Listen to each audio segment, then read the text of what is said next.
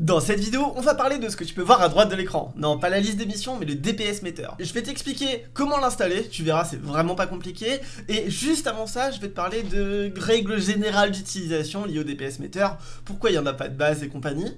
Let's go Le DPS meter c'est un truc qui est fréquent sur les MMO qui permet de voir à combien tu tapes. Bon, jusque là c'est assez logique et c'est quelque chose qui est assez surprenant quand tu viens de WoW de te dire bah attends il euh, n'y a pas de DPS meter où il n'y a pas de truc facilement accessible parce qu'on est tellement habitué à utiliser des tiles, Raccoon, Skada et compagnie pour avoir ces chiffres que c'est ultra bizarre de ne pas en avoir et donc euh, voilà une des questions récentes euh, fréquentes qu'on me pose dans les streams et qui est assez légitime c'est ouais mais le DPS meter donc, faut savoir que de base, Final Fantasy XIV, tu n'as pas le droit d'installer des third parties, donc des outils tiers au jeu. Donc de base, installer un DPS meter, c'est pas autorisé.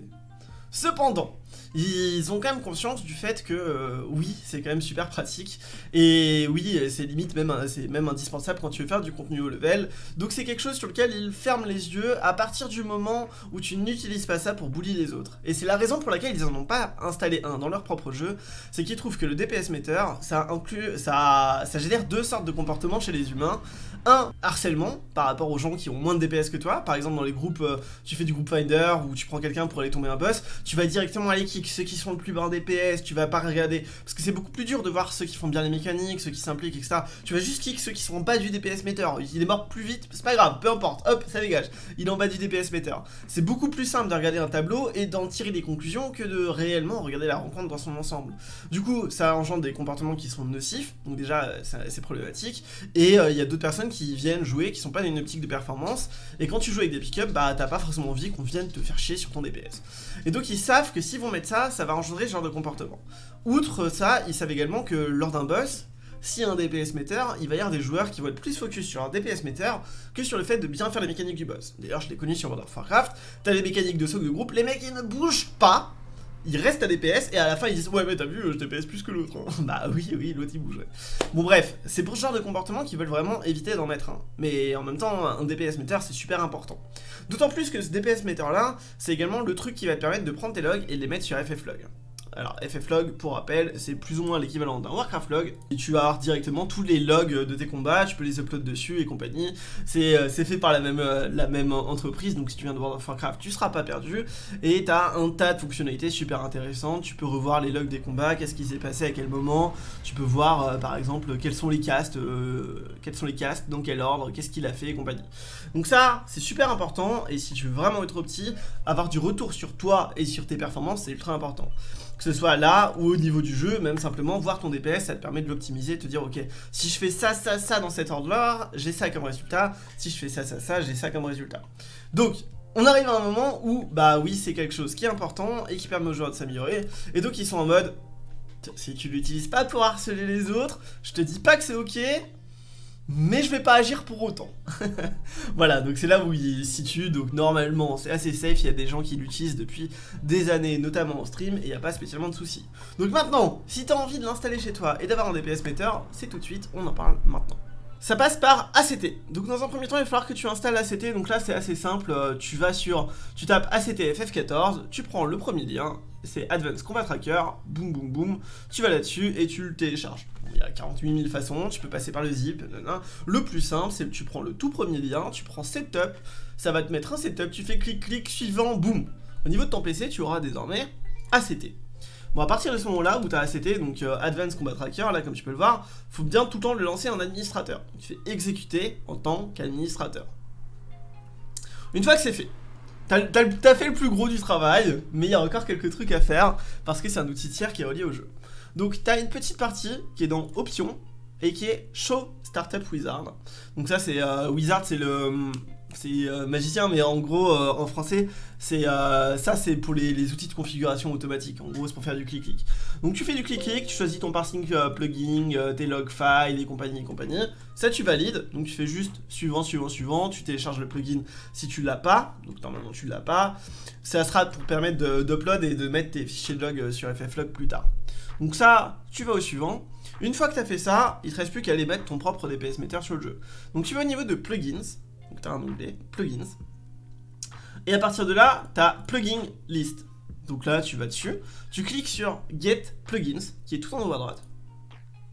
Ça va te charger une liste de plugins. il y en a plusieurs, donc ça c'est pareil, tu peux utiliser plein de trucs. Je te recommande, parce que en tout cas c'est le seul que j'ai utilisé, il marche bien.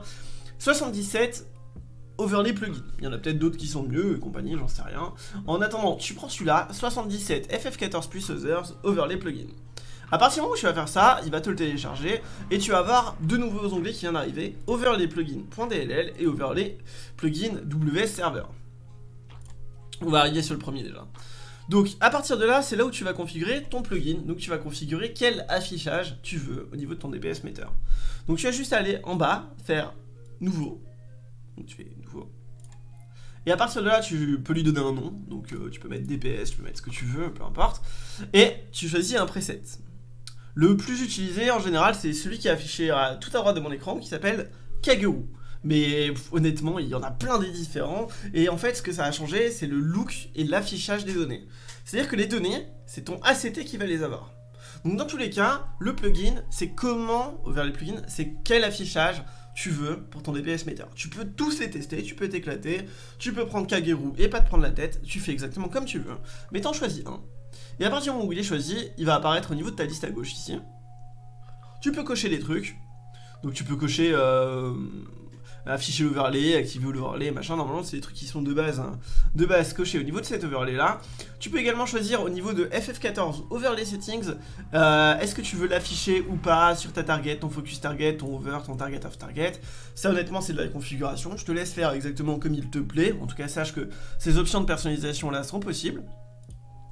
Et c'est tout. Tu n'as rien d'autre à faire juste pour afficher ton DPS meter. A partir de là, si tu es un streamer comme moi, sache que c'est cet onglet là qui fait foi, c'est Overlay Plugin WS Server et en gros tu vas devoir créer une URL euh, locale sur laquelle ça va exposer les données et ça va générer un affichage que tu vas intégrer dans ton OBS. Si tu n'es pas streamer et que tu n'utilises pas OBS, tu t'en tapes de cet onglet là. Donc, tu as juste fait ça, tu as ton DPS meter, et sache que du coup, c'est l'onglet main. Donc, on retourne sur l'onglet main, qui est l'onglet principal, et c'est ton ACT. Comme tu peux le voir là, il va lister tout ce qui m'est arrivé, toutes les rencontres que j'ai eues et compagnie. Si tu veux démarrer une nouvelle rencontre, si tu veux reset le DPS meter, etc., ça passe par ACT. Donc il y a d'autres façons de faire. Je te ferai une vidéo plus poussée si ça t'intéresse. Mais dans tous les cas, tu peux faire un encounters et le reset. C'est ce tableau-là qui fait foi, donc c'est lui qui récupère les données. Donc si tu n'as pas de données, c'est bizarre, c'est probablement que tu l'as pas lancé en admin. Et à partir du moment où tu as ça, tu as ton DPS meter, tu as juste à aller sur ton jeu, et aller taper ce que tu veux. Et là, par exemple, on va taper un truc, et tu vas voir le DPS meter, il va s'afficher, et il va me dire directement qu'est-ce qui se passe. Donc, avec le look de Kaguru et compagnie et compagnie. Comme tu peux voir, c'est super simple. Donc, euh, au final, on a l'impression que c'est compliqué, mais ça l'est vraiment pas, parce que tu peux tout télécharger via ACT. À partir de là, tu as ton DPS meter. Donc, à savoir que c'est vraiment important, n'utilise vraiment pas ça pour, euh, pour harceler les gens ou pour remontrer aux gens, etc. C'est quelque chose sur lequel ça peut te retomber dessus. C'est là où le, point principal pour eux, hein, ça c'est un truc qui est vraiment important pour les éditeurs du jeu, c'est le fait d'être respectueux et de respecter les autres gens.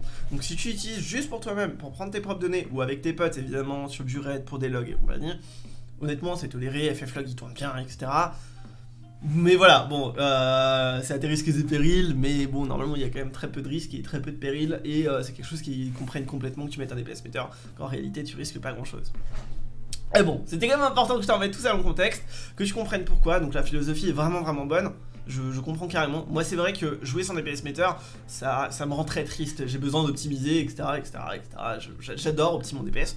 Et si je peux pas, je suis triste. Mais Mais je comprends que ce soit pas le cas tout le monde et que t'aies pas envie d'avoir à subir des retours de personnes là-dessus. Donc, agis en conséquence utilise-le pour toi. Et ce sera tout pour cette vidéo, donc j'espère que t'as kiffé. C'était important pour moi de remettre un peu dans le contexte, d'autant plus qu'on me demande souvent le DPS meter sur Final Fantasy. N'hésite pas à venir me checker euh, non plus en live, hein. je suis en live tous les jours en ce moment, je fais du gros rush. On monte, on monte, on monte, on monte. Si t'as des questions ou autres, je peux y répondre directement. Il y a également une communauté qui s'y connaît ultra bien, il y a pas mal de joueurs HL qui sont sur les lives, donc ils peuvent également te renseigner. Donc hésite surtout pas à passer faire un tour sur le Twitch, donc Twitch TV slash Lexiba. Je te souhaite une excellente journée, kiffe bien, prends bien soin de toi et on se retrouve très vite.